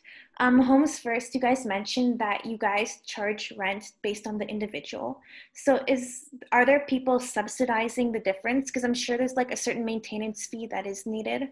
So I think the subsidies actually come from the government, um, whether it be the city of Toronto or provincial government, I'm not sure. Um, but there are definitely some subsidies in place um, to allow that to happen. Because, uh, like, we have some clients come in to pay rent, and like sometimes someone's paying like, you know, $142 for the month. So, like, depending on the, where the location is, obviously the market rent is a lot higher, and market rent is basically what you and I would pay without you know kind of government support um, so it really there are subsidies in place. Um, it's just we don't know what they are. I don't know what they are. I'm not. I'm a journalism grad, you guys. I don't do numbers. Sorry. okay, no problem. So on to our final question for the night so far. First of all, thank you to everyone, to both organizations. For Homes First, I know housing in Toronto can be extremely expensive. Out of curiosity, how much does affordable housing cost per month and what are some other factors beside cost that are considered when looking for suitable locations? Um, yeah, I can touch on that quickly. And also, just to expand a little bit on the previous question, Homes First also has uh, a property management team, and, and we have contractors and people from um, that department who can deal with any kind of like, yeah, property stuff, damage, fixing, repairs, any kind of stuff like that. So that's also included in some of the services that we provide. But in terms of, yeah, how it breaks down and subsidies and fees, I don't really know. But um, uh, to, to, to expand on, on the next question, um, sorry, I'm, I'm, I'm, I've, oh, so part of what, what goes into determining where people go is, you know, around accessibility, around the supports that they needed, around their demographic, um, you know, we have some buildings that are, you know, really focused for single men, uh, and then we have others that are more focused on families. Uh, so it really deter- it, it, depends on what their situation is, what their living situation, what their demographic, and what their challenges are. But we try our best to kind of, um, you know, if if our building's not accessible and we have somebody with mobility challenges, then of course we'll we'll have to change our building and uh, things like that. And if you know. Um, you know, if it's not in close proximity to certain social services that they need in the community, then we, you know, that's another factor as well. So. Yeah, those are similar factors that we're considering and working again our young people are working with their youth workers so uh, if our young person already has a job downtown Toronto or maybe is going to school downtown Toronto, we might not be looking at uh, landlords in the West End for them because that might be a little bit too difficult. Um, and things like Ryan mentioned, so other social services they might need. Um, sometimes we have youth and they are um, their faith is really important to them, so they want to be close to a synagogue or or mosque or church or something of the sort. So it, there's a lot of, I think, any factors that you yourself would consider in a neighborhood, we're also considering for our clients. And because we want them, um, as Hanya mentioned earlier, like these are their homes and we want them to feel um, like they're going to a place of community. So just, I would I would say almost the same things that you might think of when you want to um, rent somewhere or live somewhere. That's what we're considering for our youth as well. Mm-hmm. And just quickly, the the term affordable housing. So when we say market rent, we mean like you know just you go on like Kijiji and you're looking for an apartment and it's like eight hundred dollars for a bedroom out like by like Kennedy Station or whatever it is, right? And then so affordable housing would then be considered eighty percent of market rent. Um, but you know if market rent in the downtown core is like yeah 2200 or something for a, a, bachelor or a single bedroom which is what most people want most people want their own space um, 80% of you know two, 2000 is a lot. It's math i can't do in my head but it's a lot. Um, so when we talk about affordable housing we say the word deeply affordable housing um, housing that people on um, Ontario Works or Ontario Disability Support Program, which are essentially, you know, so uh, welfare programs, um, you know, housing that people can afford. Because you know you and i can't afford you know $2000 a month um, working nine to five every you know five days a week. So we can't imagine you know someone who's on a disability program to afford that. Um, so consider like if you and i are you know one or two paychecks away from being homeless because our, our place is so expensive um, just imagine how how much you know how difficult it is for anyone else who probably only makes a couple hundred dollars a month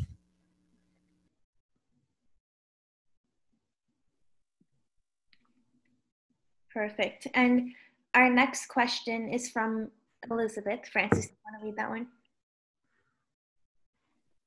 Yes i can. I turned my mic on and then i saw yours go on. Clicked it off quickly but i got this. Um, so the question from Elizabeth is both organizations spoke of their various support programs to help people get on their feet. If possible, how can your organizations tackle the roots of certain causes of homelessness? Are there any prevention measures that can be taken? Yeah, I can I can jump on that one to start, especially because uh, we are working with the younger demographic. So we're we're working definitely on prevention. That's a big one um, because often the longer you are homeless, uh, the more likely you are to stay in this cycle of homelessness. Um, so if we can stop it while people are young or get to, to young people and explain to them about homelessness, uh, we find that that can be an effective uh, method to use. So when I say, um, you know, talking to young people about homelessness. So one I mentioned uh, earlier tonight about our prevention programs in schools, and I think a lot. We are based out of Toronto, and we um, service a lot of young people in Toronto in the GTA, but we kind of consider ourselves um, a national organization, but also international because we do get refugees. But looking uh, at, at a Canada basis, a lot of our young people, or a number of our young people, are coming from small towns. And there's this idea that if they are fleeing a bad situation or maybe they feel misunderstood or maybe they're being rejected because their parents don't accept their sexuality whatever it may be that oh i can leave maybe they're from timmins you know i'm going to leave timmins which is a relatively small community and i'm going to go to toronto and life's going to be better because i'll be accepted there not knowing that if you don't have a support network in toronto the cost of living is way too high the likeliness of you finding a job is also very slim if you're coming with no support. Where are you going to go to school? There's all these things that they might not consider because they're probably fighting for their survival. So, one of the ways that we're working on this is through those school presentations and talking about runaway prevention. And for a while, there was, I, it's interesting, but like a glamorization of homelessness of, you know, you're 17 and you do whatever you want and you have no rules and no parents. And so it's also breaking down that, that it's not glamorous and that there's a lot of, you know, scary realities out there if you are young and you're homeless. And so we really think when you can get to young people when they are teenagers and explain to them the realities of what could be it's a way to for them to get informed but also if they are experiencing abuse or something of the sort they're able to learn about the reality of homelessness or precarious living and then maybe we can if they come to us we can give them supports in the community um, or we can refer them to agencies that can help them out of their situation without them having to be homeless. And I think that's another reason that we are also working, we're working with at risk youth because we don't want them to be homeless. So we realized that if we were working with 16 to 24 year olds and we said only homeless people can use our services, we are then um, part of the problem because there's a whole group of people that are on the brink of homelessness or that could be homeless. And so if we don't you know help them find jobs or help them with skills that they too are a step away from homelessness.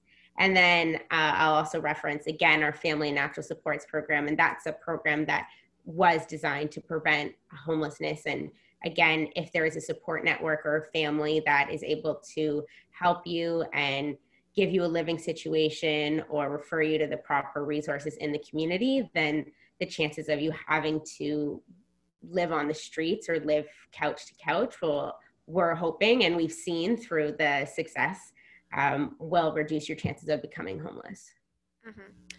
Um, I was lucky enough to attend the Canadian Alliance and Homelessness Conference last year in Edmonton, and someone there mentioned um, or did a keynote speech about tackling issues downstream. So at Homes First, we you know service a lot of adults who have experienced homelessness for many years, and a lot of um, the challenges that they face um, stem from trauma that they they faced in their youth.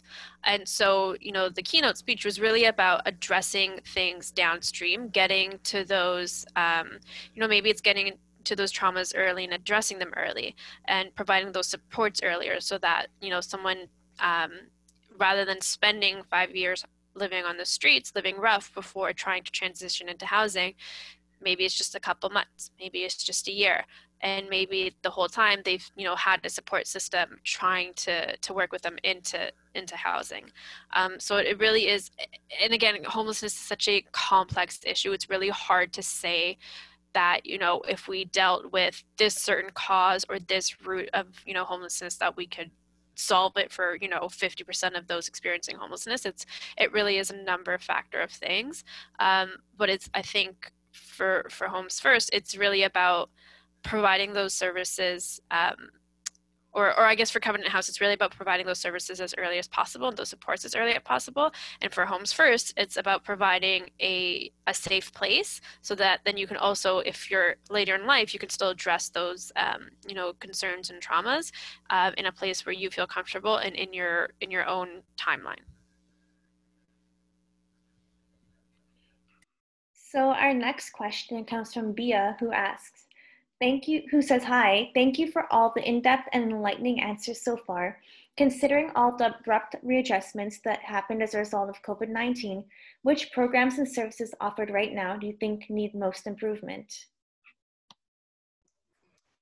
Um, so at the moment, really, um, you know, access to tech technology and barriers around virtual programming are you know something that we want to build on something that we definitely need to expand.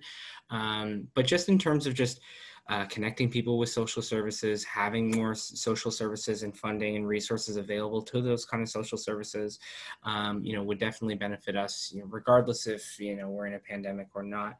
Um, but yeah, I mean, again, access to proper PPE and and you know just continuing that stream of donations. We have been able, we've had uh, to unfortunately cut back on some of our donation requests and what we can and can't accept at certain buildings. So, you know, just being able to still provide the donations that we'd like to normally su supply our, our residents is a challenge. Things like um, PPE, things like uh, toiletries and um, personal hygiene care items, um, clothing, warm clothing is always something, socks and underwear, uh, things like that. So just, you know, making sure that we're still able to keep up with the need, but uh, deliver in a, in a safe way.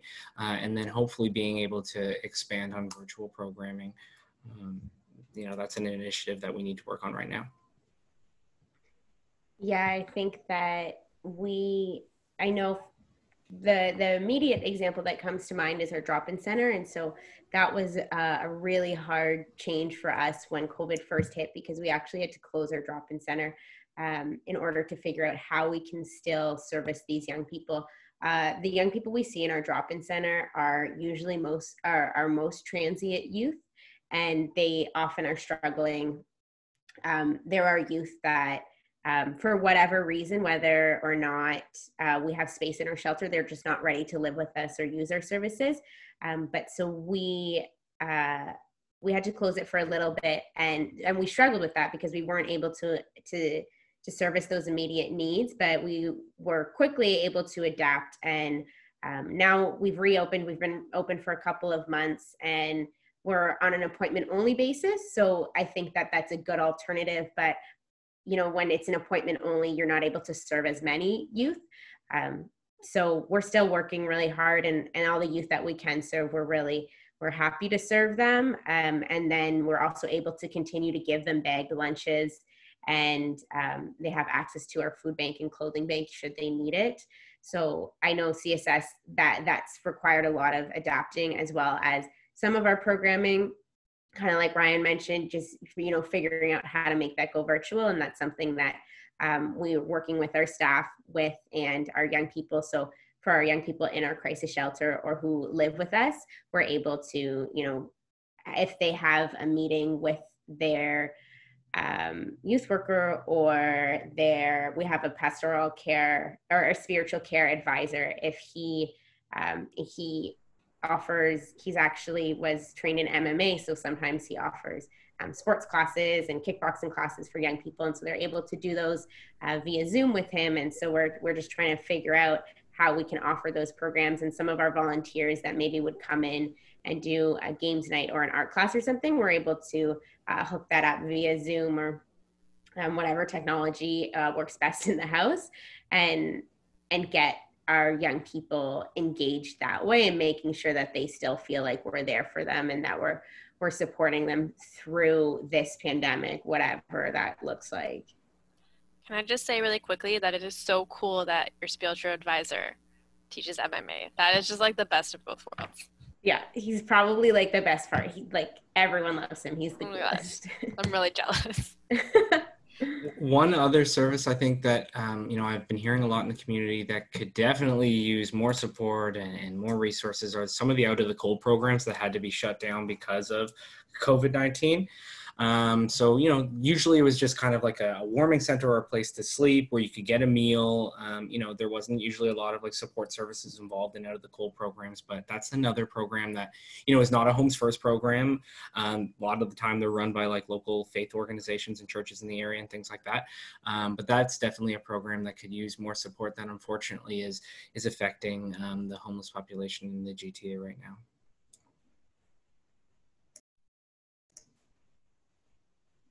Sorry to bring it down from that cool MMA bit. Gosh, Ryan, let's go. So our next question is from Ryan who asks, how have the users involved in the harm reduction program who received valuable education about safe drug use benefit versus people who enter rehab? For example, have you seen that people are succeeding in things like securing employment or housing faster? Uh, so Homes First doesn't actually have its own rehab program. Um, if clients want to to enter a program like that, we definitely um, support them and you know try to find them the best fit. Um, that being said, I don't. So like things about like securing employment or getting housing, like those, there's a multitude of factors that go into that, and it's yeah, it's not necessarily always just about drug use. And personally, I've met a, a couple of our residents who are um, very strong users. I'll use that word. Um, you know, don't want to give up their their substance. Um, but you know are really high functioning um, and are really good at you know managing their their substance use and their lives outside of it. So it's not necessary just it's not necessarily like, you know, if someone is using that they can't um, get employment and keep employment. It's it's really just about um, you know teaching people to use safely as much as possible. And if it's um, you know something that they can manage in their lives, just like you manage a, a mental health issue. Um, if it's something that they can manage and and you know um, not let it negative, negatively affect the rest of their lives like you know there's no reason we're never going to tell a client to stop using that's that's not our place if they choose to then we'll support them um, but that's totally up to them um, and just to add to that, uh, Homes First is partnered with CAMH. Uh, and you know, although we yeah we we aren't a rehab center, um, we do have a partnership where when we have rooms available at some of our housing locations, they are reserved for clients from the CAMH program, uh, and then we work with the CAMH workers and their addictions counselors and our ICM staff to make sure that we're supporting them and that everybody's on the same page. And you know that when they when they are finished the program, they're in secure housing with supports to help you know help them get back on their feet and and you know obtain any kind of services or, or employment or something like that. But so there are those you know partnerships and ways that we work together with rehabilitation centers and addictions counselors as well, while still providing like a harm reduction approach that that Homes First uh, policies uh, follow. Yeah, and similarly, I, I don't have a background in harm reduction um, and those sorts of things, so I can't speak too much to it. But as Hanya was saying, we if a young person or a client comes to us and has um, an addiction and wants to go to rehab or wants to find services, we uh, work with them to find the right service for them. We also have access through partnership. Again, we have an on-site healthcare clinic. Um, and we also have a partnership with St. Michael's Hospital where um, we can connect young people to counselors and psychiatrists should they want to. We also have a partnership with CAMH and other addiction services in the community. So should young a young person want to go to rehab or kind of work through their addiction, those are absolutely available.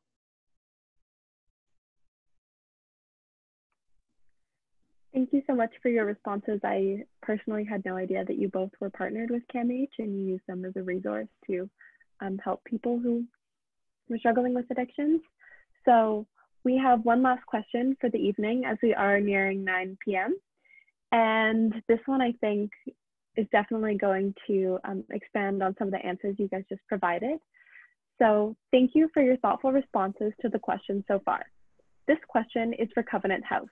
I was curious, how have you had to accommodate your own internal policies as a result of COVID 19?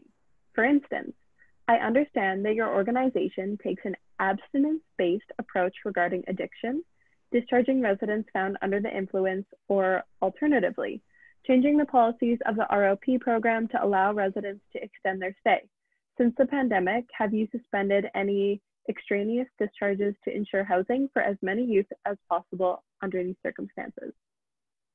Yeah, that's a great question. So, to start, I will say that Covenant House, uh, we've been around for almost 40 years. And in our inception, we were an abstinence space program, absolutely. Um, and as time went on, we realized that's not effective because we want to be an organization in which the people coming to us feel safe and they don't feel judged and they feel that if they're struggling with something that they can come to us so we realize you know telling someone oh you're drunk you can't stay here for the night or you've been smoking pot or you did heroin that's not going to be effective in helping them in their journey and helping them deal with their trauma and um, Ryan had said that their staff are all trained in trauma informed care. Um, it's the same at Covenant House. We know that every client that we have, we're approaching, they're dealing with their own trauma. And so if a youth is using or they're acting out or they're being aggressive, that's not because, you know, of the youth worker. It's some trauma that they're dealing with. And um, while it can be hard, we know that there's something else that's going on here. So when it comes to substances and addiction, we've actually kind of pivoted our approach and we've said that we are a dry facility. So a youth can't be inside drinking a beer or they can't be smoking a joint in the facility. However, if they're off the premises, they can engage in whatever activity it is that they would like to do. And we also realize it's legal to smoke pot now. It's legal to drink beer if you're over the age of 19. And we're servicing 16 to 24 year olds. So we know that a lot of our young people, maybe they went for drinks, or maybe it's a Friday night and um, they're going out with friends. So we know that, you know, they might be coming home drunk or under the influence. And so again, it's just that approach that we want them to feel safe. We want them to come home. And it's also that idea that if they are high, we don't want them to feel scared or that like they're going to be kicked out.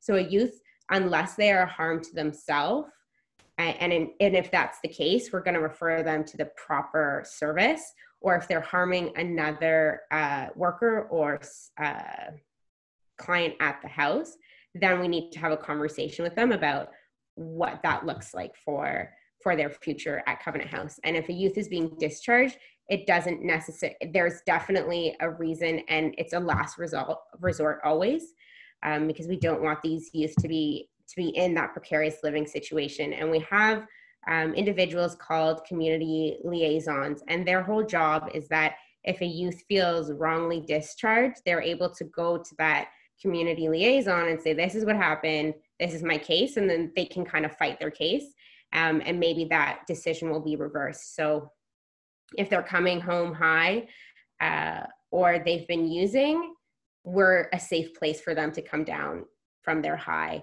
And we also have, like I said, we've partnered with um, St. Michael's, we have our on site healthcare clinic, and we also have an on site um, full time mental health and substance youth uh, use counselor.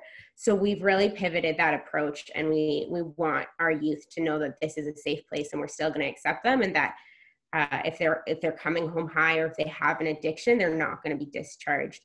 Um, so that's something that is is I guess newer, um, and it's not wrong. We did have an abstinence-based approach before, but that's definitely something we've moved away from. And as I mentioned, any reason if a, if a youth is discharged they can always challenge that. And it's always a last result. We don't want to be discharging people.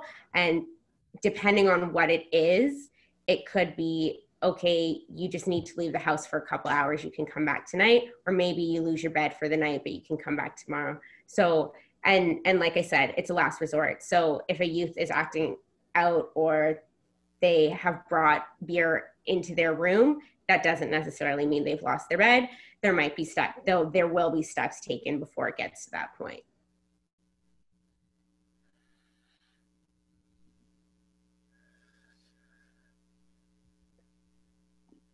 Great. Thank you so much for that answer. And as that was our last question, thank you so much, Ryan, Hanya, and Nicole for having amazing answers and to all of our guests here for bringing some really great questions into the discussion this evening. Um, and as it is 8.59, we're going to conclude the panel for the evening. So think as a small gift of thanks and appreciation, we have raised funds to donate to each organization. These are going to be released from Eventbrite in a few days, so we'll get it to you as soon as possible. And thank you so much to those of you who donated. We appreciate your contributions greatly. Again, to the panelists and the Students for Shelters team, Thank you so much for your work. For anyone who wants to join S4S, we're going to be posting a link in the chat momentarily. And um, we also did have a small raffle this evening from our attendees, and the raffle winner was Samantha, Samantha Georgie, who we will contact by email. So thank you so much, everybody, again. It was an amazing evening. Thanks, everybody. Thanks for listening, and thanks for all your amazing questions. Thank you guys for coming out and have a great night. Thanks, everybody. Thanks Bye. so much. Great questions, guys. Thank you, everyone.